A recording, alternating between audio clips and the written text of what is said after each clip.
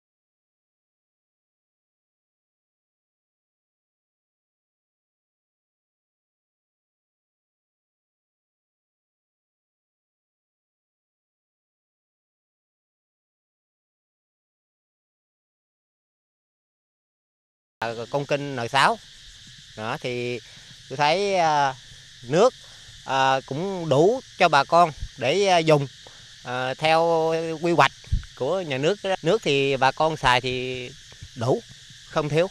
À, trước đó thì chưa có tiếng kinh á thì nó ngay khu vực này á thì nó ngay làm nó cũng thất thoát rất nhiều.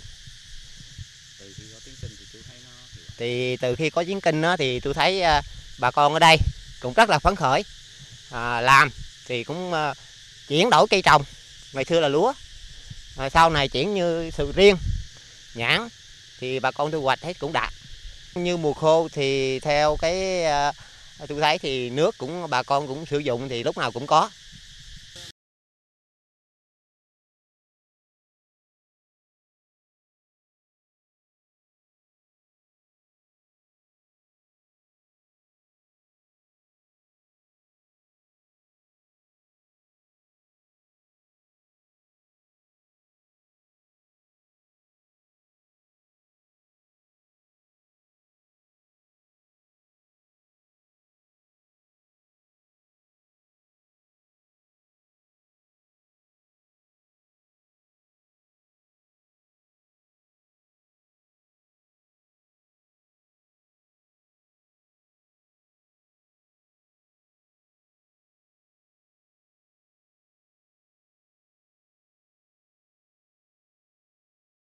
Trong cái cái vùng tưới á, thì của huyện á, thì đáp ứng nhu cầu tưới của người dân.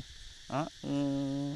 Hiện nay thì trên địa bàn có nhiều vùng chuyên canh, thí dụ như vùng ở Trung Mít này thì chuyên canh cây trái, nhất là cây nhãn. Còn như vùng Phước Minh, Phước Ninh thì người ta chuyên canh cây mì thì đã cơ bản rồi. Chỉ có một số ít là trường hợp là những cái hộ nó nó ở xa canh thì thiếu canh nội đồng. Nếu mà trong vùng tưới mà trong ờ, trong cái vùng mà có các cái tuyến canh tưới đi qua thì đã tưới đủ cho bà con ờ, trừ khi nước hồ mà tích không đủ. Vì khi đó thì kể cả hệ thống kênh chính đông hay chính tây đều phải tưới luân phiên. Thì những cái tuyến kênh dài thì có khả năng là thiếu chứ nếu mà ừ, hồ dầu tiếng mà tích đủ nước hoặc gần đủ nước thì nó cũng không có ừ, thiếu, không có năm nào thiếu.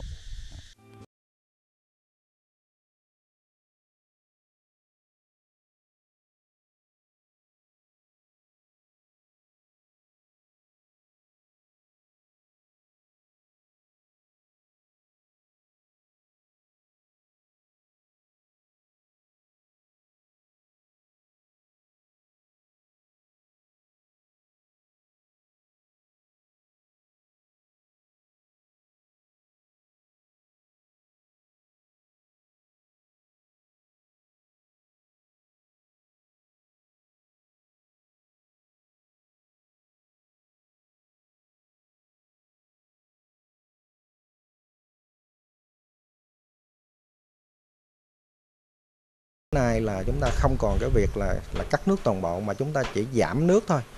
Giảm nước trên cái hệ thống thủy lợi, trong đó là vẫn đảm bảo phục vụ cho những cái khu vực tưới của những cái cái cái vùng mà sản xuất nông nghiệp mà chuyển đổi cây trồng như cây ăn quả, thì nó cần nước liên tục.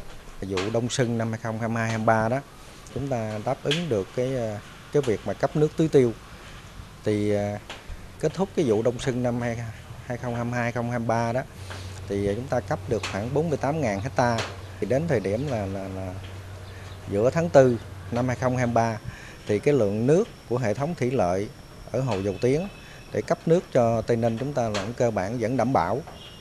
Và cái thời điểm mà từ ngày 1 tháng 4 cho đến 15 tháng 4 năm 2023 đó thì chúng ta là, là đang trong thời điểm là thời điểm là cắt nước giảm để mà chuyển vụ sang vụ hè thu.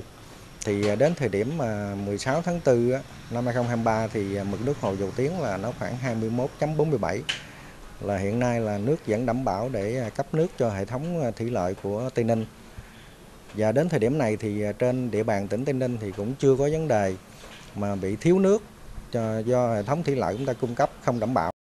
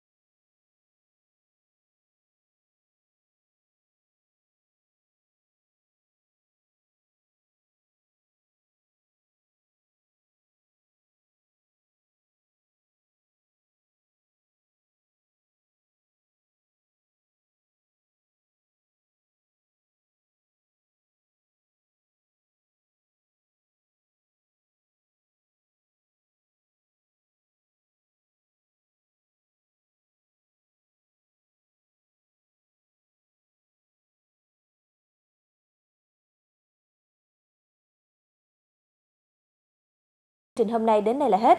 Cảm ơn sự quan tâm theo dõi của quý vị. Xin chào và hẹn gặp lại trong chương trình kỳ sau.